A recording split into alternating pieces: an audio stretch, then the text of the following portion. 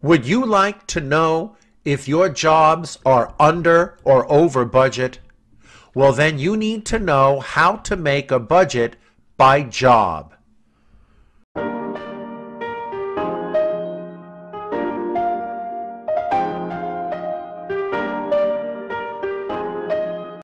If you have any questions about this topic, you can leave them in the comments section below and I'll do my best to help you. And of course, if you feel the video helped you, I hope you will click like and don't forget to subscribe to get updates on new videos that come out all the time. The Budget by Job feature in QuickBooks Desktop is one of the most simple but helpful tools in QuickBooks.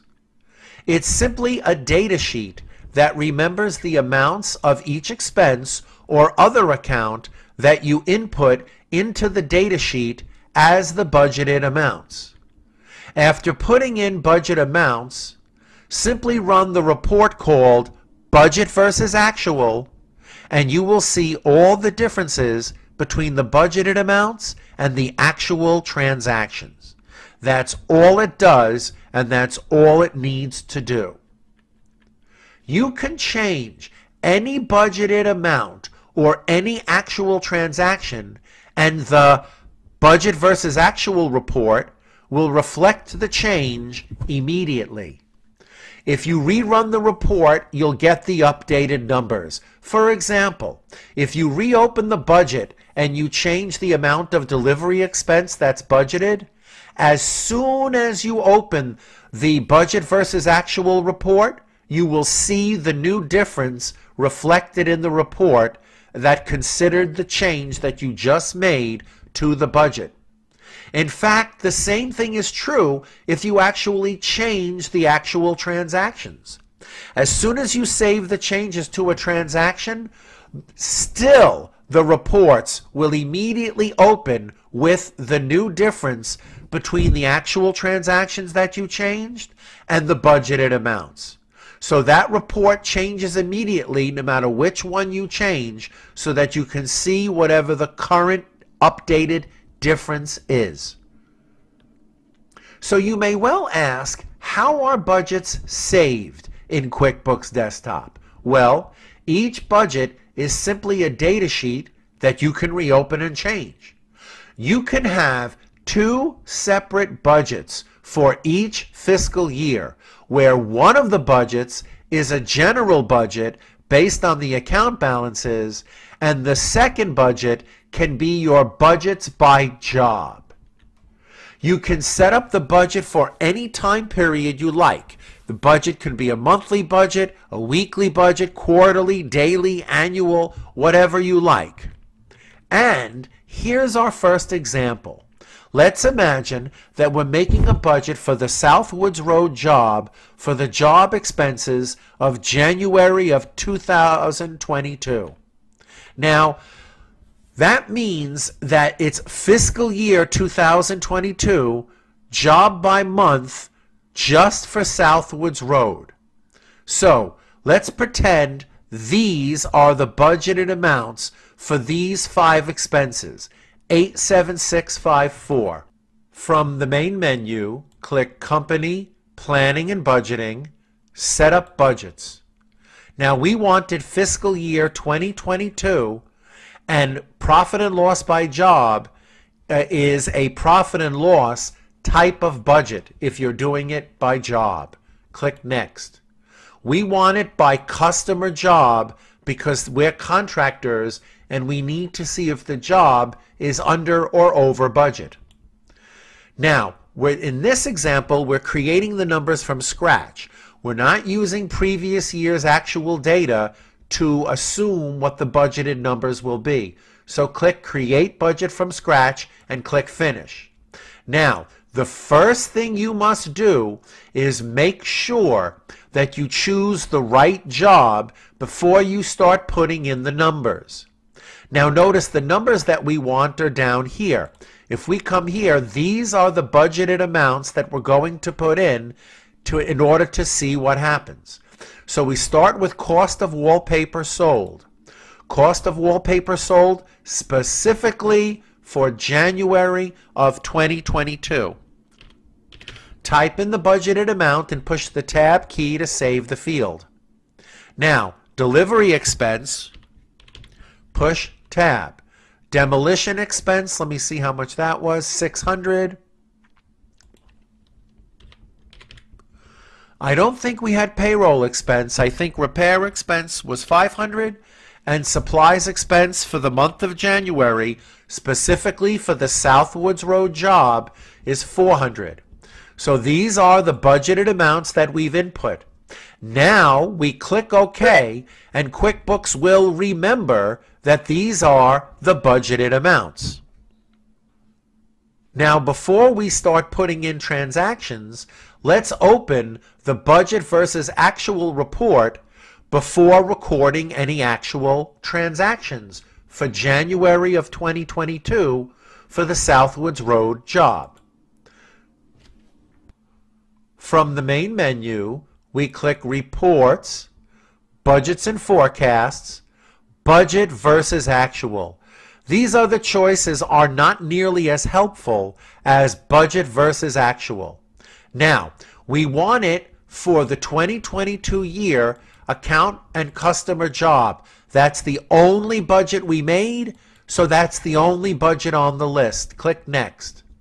Now, we don't want account by month. When it comes to this choice, you must choose account by customer job.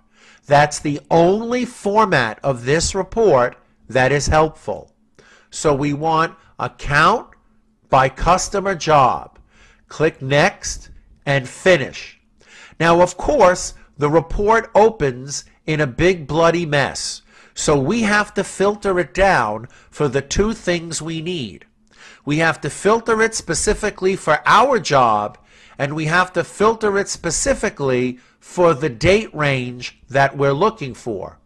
So we click Customize Report, Filter, click here, push the letter N for name, and choose the name, just the Southwoods Road job cancel. If we don't choose only the Southwoods Road job, we're going to get every single job in this file as we scroll from left to right.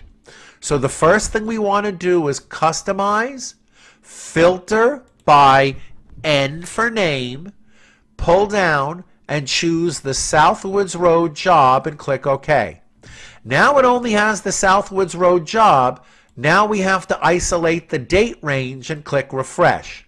Now it looks like something that can help us. But notice the format.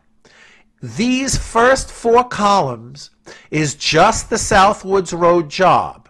Then the next four columns are everything for Kirschbaum in total. So if there were other jobs besides Southwoods Road, those budgeted amounts would show up here. And then this total is the total of all jobs together. And unfortunately, there's no way to filter out the total. And you can make it a little more clear by moving the mouse to one of the three dots. And when you get the cross, click and drag to the right. Do you want all columns to be as big as this one? Yes. And now we can see it nice and clearly. And we can see the budgeted amount.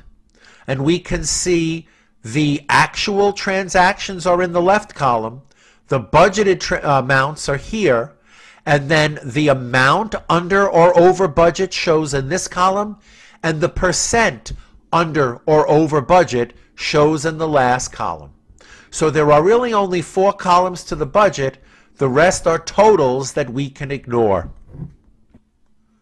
Now let's enter some actual transactions and see what happens to the budget versus actual report. January 5th paid UPS $1,300 for a delivery related to Southwoods Road. Okay, banking, write a check. And this is January 5th of 2022. This is a delivery to UPS. QuickBooks knows they have bills. Click write a check. We went through this but the amount is 1300 and the most important field is this if you forget to put what customer job in the bottom right then you will not see this difference in that job's budget. So you have to go down and click Southwoods Road. In this case, it's not billable. Just hit enter to save it. And when we come back and refresh the report, you can see 1300 was actually recorded, 700 was budgeted, you're $600 over budget, so your budget is at 185.7%. Let's do the next one. January 10th, paid 300 to Rex Repair for repairs that relate to the Southwoods Road job. Okay, same thing. Banking, write a check. This one's on the 10th. It's to Rex Repair. Rex Repair Shop. Write your check. And we know that this amount was only 300. Is that correct? Yes. Now, when we hit enter to save it, oh, don't save it, don't save it, don't save it. The most important is to choose the job or it won't know to include it in that job's budget. Now, cancel as far as checks and whatever. Look at that. 300 was the actual repair expense. 500 was budgeted. So the dollar amount over budget is a negative because you're under budget by 200 and you're only at 60% of your predicted budget. And that's how this works. So when you take a look at the report, you can see the dollar amount difference and the percent over and the percent under right here in these four rows, in these four columns. Now let's change the budgeted amounts and see what happens when we change the budgeted amounts in the Southwoods Road job. For example, let's bring down the amount we budgeted for repairs to $100. It's very easy. You can reopen the budget by clicking Company, Planning and Budgeting, Set Up Budgets.